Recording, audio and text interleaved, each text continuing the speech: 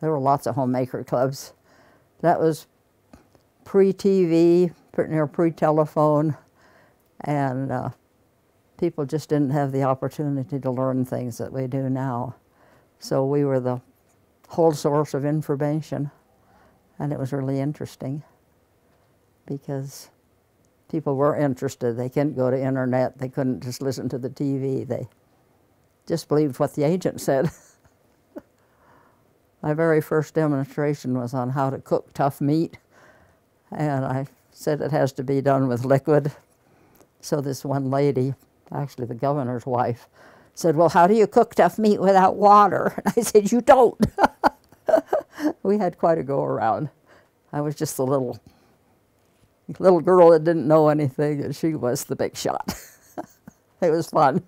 Whenever I gave homemaker demonstrations, they were almost always in the kitchen of someone's home, and there would be five to ten little kids crawling all over the floor under your feet.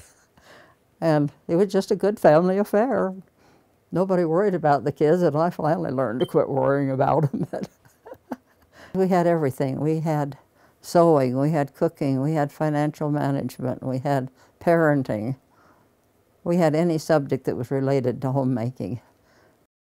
I uh, had a meeting in Lander one night and ended up on sleeping in my car all night up on South Pass, and I guess my poor roommate was about to have a heart attack. That was pre pre cell phone days too. And so I just curled up in my little bedroll and laid down in the back of the seat.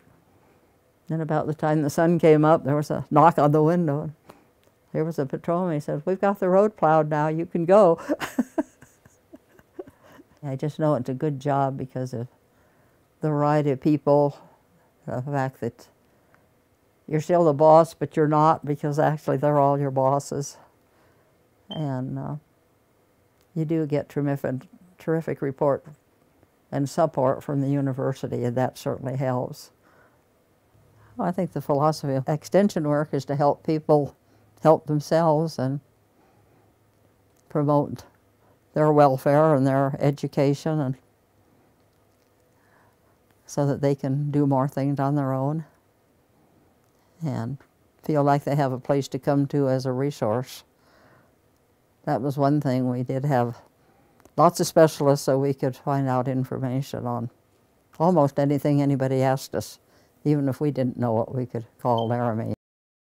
We've grown up a lot. The whole country has.